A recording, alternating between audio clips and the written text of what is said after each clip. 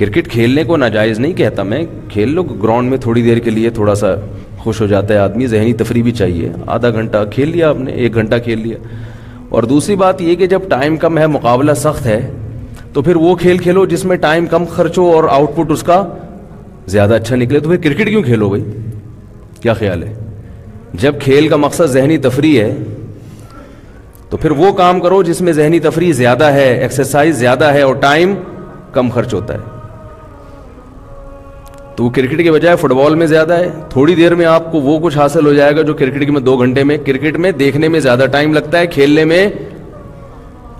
अब देखो जो क्रिकेट खेलने वाले हैं, जिसकी बैटिंग नहीं है, वो तो बैठ के सिर्फ़ देखेगा ना। सिर्फ़ मुँह से खेलेगा वो। अबे ये कैसी बॉलिंग करा रहा है? अबे ये छक्के मार रहा है। अबे क्या कर रहा है? उधर क्यों फेंक दी तूने? अबे इससे कितनी ये बैठ के फजूल बातें फेंकता रहेगा बैठ इससे कौन सी वर्जिश हो रही है भाई?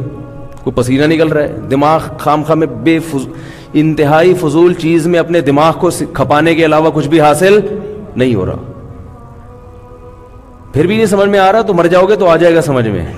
खबर में जाएँगे ना, समझ में आएगा। लेकिन फिर समझ में आने का फ़ायदा नहीं होगा।